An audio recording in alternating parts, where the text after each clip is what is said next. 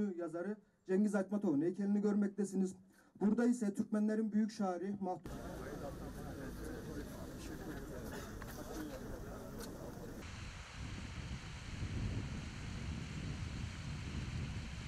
Yazdığı gazetenin Kazan'dan Doğu Türkistan'a kadar herkesin anlayacağı bile anlayabileceği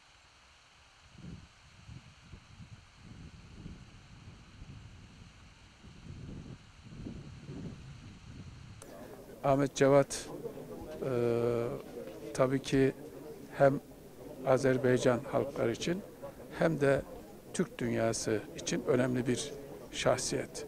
Birçok hizmetleri vardır. Hatta ki e, Türkiye'nin İstiklal Harbi'nde bile e, buralara kadar gelmiş.